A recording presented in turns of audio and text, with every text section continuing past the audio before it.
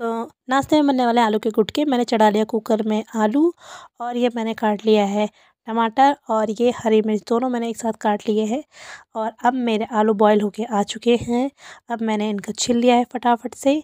छिलने के बाद अब लगाने का है तड़का। तड़के के लिए ले ली मैंने कढ़ाई।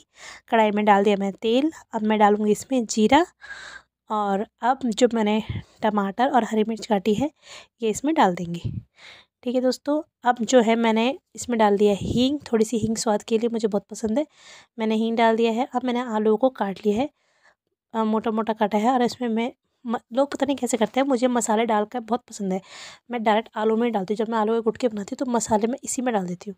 मैंने सारे मसाले हरी मिर्च सॉरी धनिया लाल मिर्च धनिया पाउडर नमक सब डाल दिया है स्वाद अनुसार और ये मैंने सबको मैश करके और ये सब के सब डालेंगे अब कढ़ाई में।